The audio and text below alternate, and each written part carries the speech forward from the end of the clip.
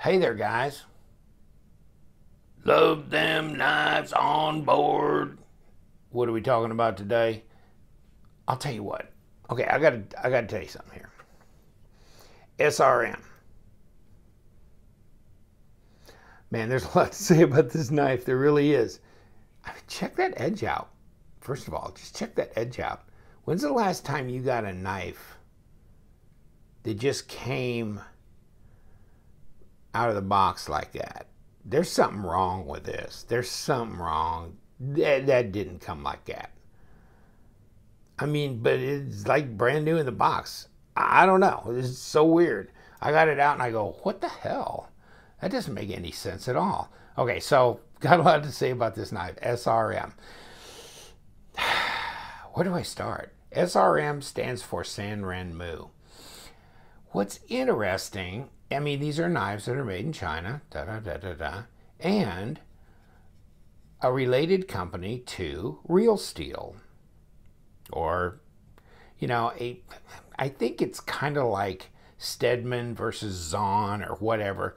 Um, it's it's the same deal, but the same corporation, or maybe they are one's a you know subsidiary of the other, whatever you know, branched out for different purposes. I heard somewhere, and this could be a bunch of crap, probably is, but Sanrenmu was started up pretty much as you know Chinese consumption type a brand for that, and then when they went to Real Steel, that was more for their export and then, of course, Gear Best and stuff, they sell a lot of Sanrenmu. And, you know, even Power Cutlery does. They're here in the U.S. and, you know, other places. Although I'm not seeing these at the standard retail sellers online. And there's no reason that they couldn't be doing this because this, I got this from a USA distributor. They have them in stock in the United States, okay? You don't have to wait three weeks to get the Sanrenmu knife. You can get it in a few days. So that's interesting. Um, this is a liner lock flipper. This just seems so much like this knife. I'll tell you right off the bat, and yeah, we'll we'll look at the knife for a while and then we'll talk. But yeah, those scales look a little familiar. Real steel, right? $59.60. This is the Real Steel T101 Special Edition. I call it Thor 101. In any case, so I like this knife. This is that Sandvik 14C28N knife. But look at look at the difference here. Um, what's interesting is that look at the look at the blade design here. I like this knife better than this knife as far as de overall design. I wonder why. Here we go again. Here it comes. Getting ready? Why do I like it? Hmm. Or can we say Ganzo? Hmm. of course, these two are like dead ringers. You know, I mean, there was a little uproar when the Ganzo knife came out like 20 bucks or 18 bucks. And of course, what's this, two, 200, but I mean, 175, but you know, and this is 720, I believe. So, you know,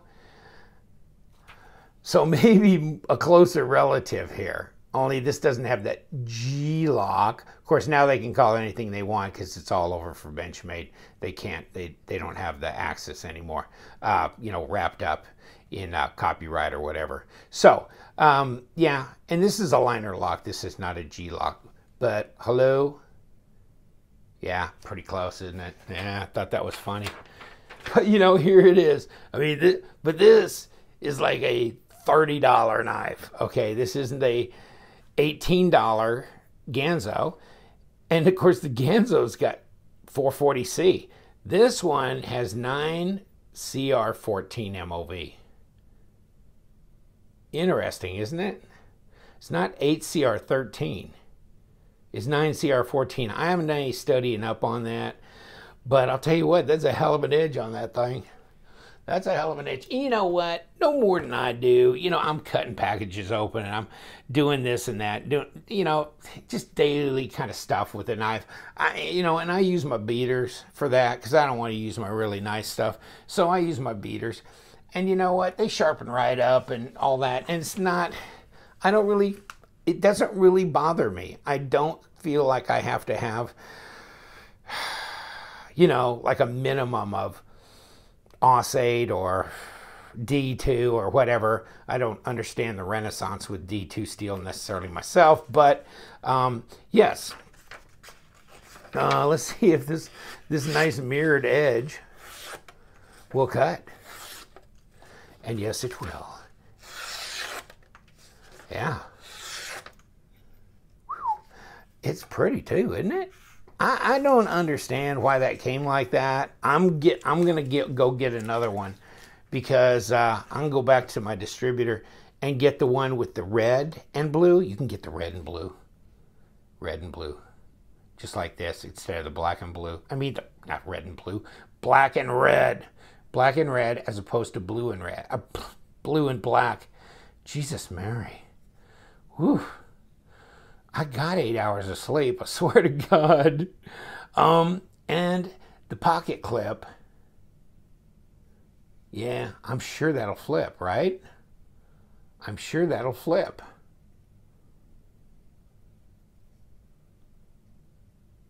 Interesting. So you can go right hand, left hand with that. I don't see why you can't. I mean, look at the look at the cutout area on this side and under here on this side so you can do that. Um I guess I mean last time I did this too I had to get my little um uh, I, I put a piece of cloth over there but I got my needle nose real small craft pair of needle nose and turned that to undo it. So I don't know that's kind of strange. Sometimes they give you a little hole in there you can stick something in and turn it. In any case so you got full stainless liners in here. And let's let's see if they skeletonized them. I've slept since then. Yeah, they did. Skeletonized the liners up and down. Those are some thick old bad boy steel liners. And it's just like real steel. I mean, basically to me, this is a real steel Thor T101 with a different blade and a different blade type steel. But this is like the Lion Steel SR1 or the Ganzo 720. Would I rather have the Ganzo 720? No, but uh, I've had it before and you know, I thought that was a real solid knife. I mean, I only got so much room in my drawers and I don't try and load up too heavy on the budget guys. And I'm kind of getting picky on my budget knives now. So I've got a couple of Ganzos, but they're different. They're like carbon fiber and stuff like that. So, but this one, that's good lockup, good sturdy lockup, no blade play, no lock rock. Great action, centered up, feels good in the hand. The handle's different, you know, than the Lion Steel or than the Ganzo 720, but yeah, I like it. This really thrilled me. I yeah, I got to get the black and red as well. And I because I want to I want to get another knife and check that edge out, see if that really comes that way. But if you guys can't find these around, because I can't, I had to go on the SRM knife site to find them, just to, to look. I mean, hold on. I got this somewhere. And pull the front page. Okay, so SRM knives, okay? SRMknives.com. SRM series. Now, that's what they're calling them. And here in the first page, voila, here we go. Right? The 1005 GQ. 1005. This is the blue is the GQ.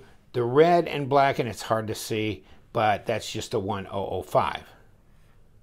Suppose I mean, you know, this is like buying a real steel knife off the real steel site.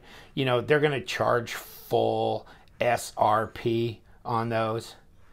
So this is, I mean, yeah, in your worst nightmare, this would be what you'd have to pay for this knife. In your worst nightmare. Should be able to get it for 35, something like that, okay? Uh, in any case, not a lot of money in there anyhow. There's another one I'm going to order and take a look at this one, this 9002. And this is in tan. Uh, backside is a steel and it's a frame lock. So might be interesting. In any case, so that's kind of the wrap on that. Oh, I'll be talking about these upcoming. There's a full titanium one. This is the steel handled flipper. Really cool knife. Open pivot and open, you know, the, the you can see through. There's an open hole in the, but check this out. And I'll be doing a video on that. 85 bucks. This is titanium. Titanium. And it's not an MOV. This is, a, I think, 12C27 Sandvik. So it's kind of strange to put with a full titanium frame lock flipper, but leave it to SRM or Sanrenmu. You know, what can I say? It's uh, all crazy. That's enough paperwork. Let's look at the knife. Let's uh, get a measurement. Bertha, get out here. Okay, so yeah, three and a half, mm, maybe three and five eighths. Overall, about eight and a quarter, eight and an eighth, eight and a quarter, depending on where you want to stop this this train. And you know, about 21 centimeters coming close up that. So, as far as you know, about 90 millimeter blade length. So, can we say fancy? PM2, same size. Same size. That's about where the similarities end. Oh, yeah, about the same quality of steel. Let's see. S110V, 9CR14. Okay, never mind. Don't even go down that road. Man, I'll tell you what. Ah, I'll leave you alone, girl. Let's let's turn on the scale because it's gonna be ugly. This is gonna be ugly. This thing is this thing is a chunk of change. A chunk of change.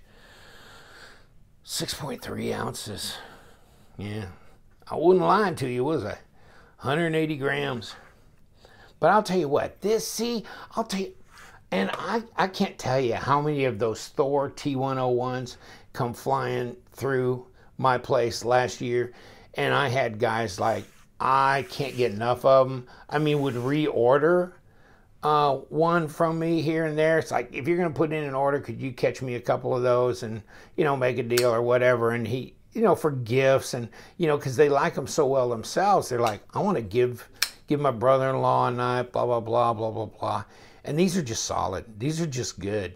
Um, so this is, I mean, I'm talking about real steel, and I'm talking about this one here. This feels good. Got a little thumb ramp going on here. I mean, I'm talking about the SR1, right? I mean, basically, this blade design. Interesting. Pass through, real easy to get through and jimped. Great blade action. I haven't had it apart, haven't messed with it, nothing. I mean, look at that.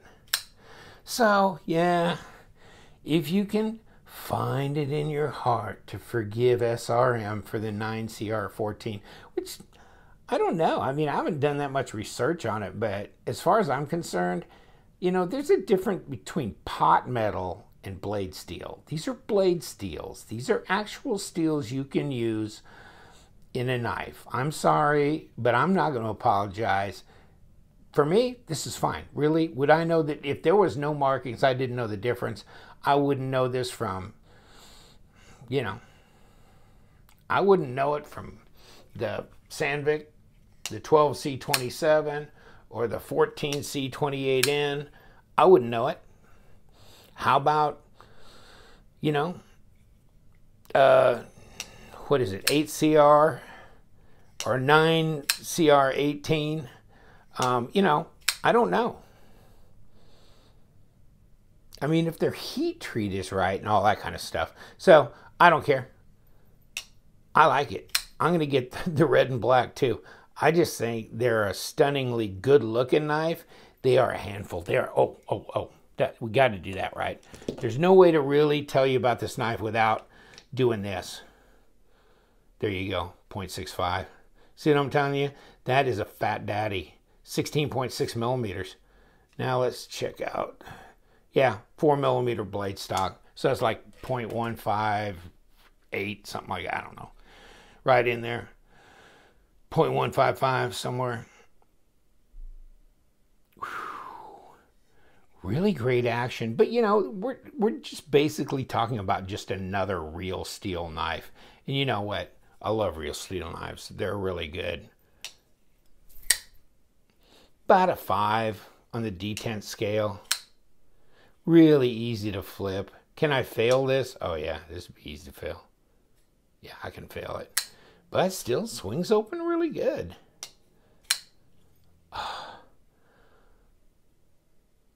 You know, see, I have fun, and I didn't even talk about the lockout, but I have fun that keeps it from from disengaging here, you know. So until you pull that back and then you can disengage this. I have fun with these little budget knives. I really do. And I'm not going to apologize for it. I, you know, sometimes these can be as much fun or more like the 1005 GQ. These can be as much fun or more than anything else. Uh, it's silly. I know I get my kicks real cheap, but I don't care. I don't care. You want to run off all custom knives, all mid-techs, all this kind, oh, six, seven, eight hundred, eighteen hundred, twenty-five hundred, thirty-five hundred. I still have a blast with these. These are just, and you know what? Still stays with your budget. You can afford to have a blast. Seriously? I mean, really? Because I, I like them. I mean, I like them. This new, you know, QSP knives now that we've got here. Um,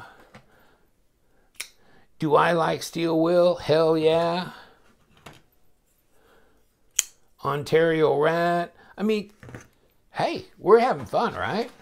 I mean, there's all kinds of cool stuff out there. Of course, Bestech. I mean, give me some G10, give me a liner lock, give me a reasonable blade, whatever, and I'm good, right? I love the Modus intrigue. I got a lot of, I got a lot of steel will stuff here, but you know what I'm just saying is, yeah, these are a blast. I like the budget stuff. I mean, you can go run off with your three, four hundred dollar knives or whatever all day long, but still, there's just so much fun in having a knife that you don't have to worry about. You throw this baby down on the table, it could drop on the ground, whatever. You pick it up, dust it off, it ain't gonna scratch up. This G10's tough stuff. This is beater hard. You can use and abuse this thing. And no, it won't do 500 rope cuts with and still shave paper. But guess what? You can sharpen it. Yep. You can sharpen it a lot easier than you're going to sharpen the super steels. Yes, you can. Yep, you can strope it up. You can refurb this edge back. Not a big problem. With this choil here, not a problem there. Whew. This just feels good in the hand. It really does. You ought to try the action on these. You know, 30 something bucks. Is it worth it? Yeah, I think so. I mean, the uh, the one with the Sandvik here from uh, Real Steel, 60 bucks, right? 30, 60.